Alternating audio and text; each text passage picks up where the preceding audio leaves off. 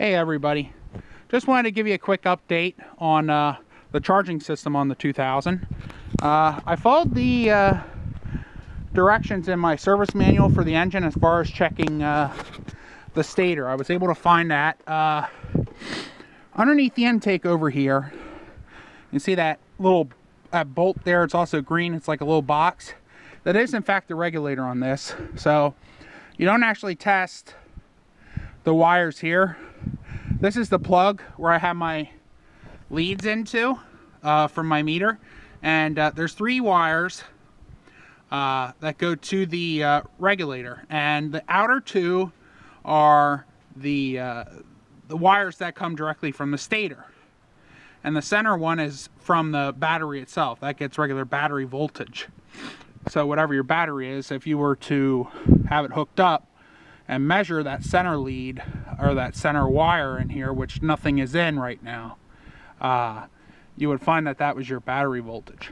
Um, but according to my service manual, you would hook my meter up on AC voltage, which is kind of like that little squiggly line with the letter V. And you can see what I have my leads into here. So basically what it says is you want to measure the voltage across the two leads coming from the stator and they need to be at least 28 volts. So we're going to do that. I'm to start it up. Now I did have this running so it should start easily.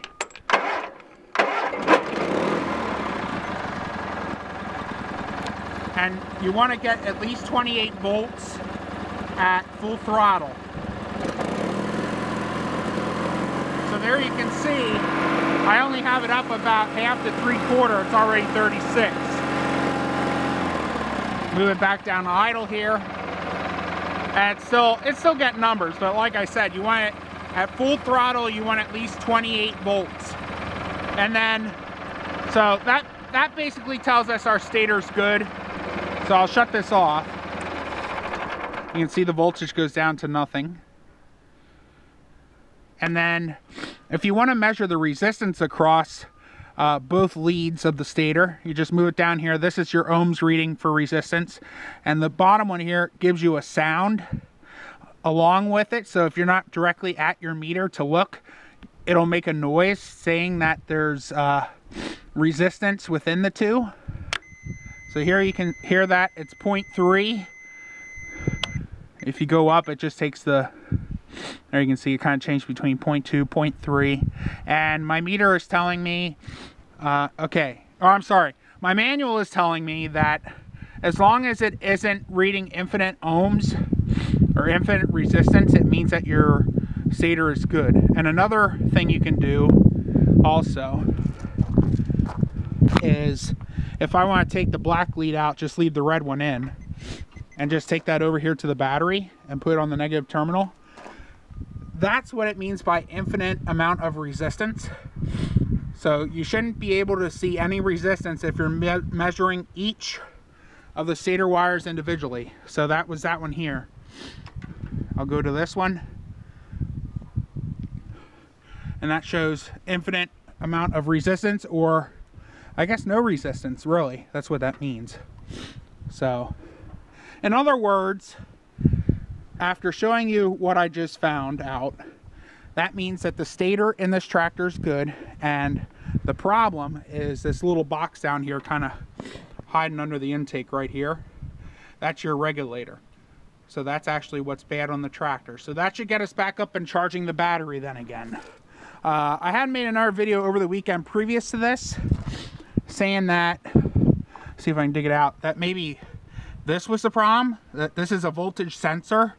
And I thought that maybe this is what uh, charged the battery, but it turns out it's not. It's just a sensor. That's all it is.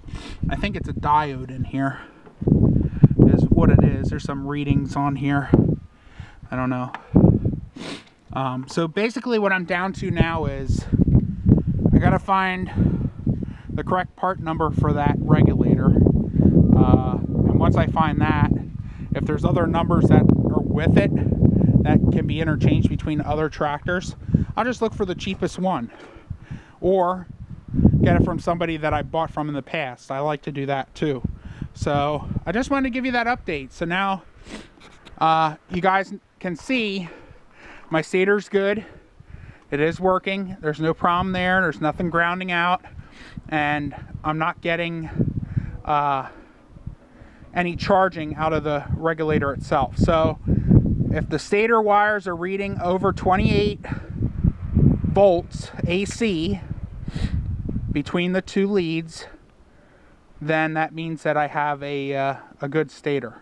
So yeah, stator's good, regulator's bad. We're gonna be replacing that sometime in the near future.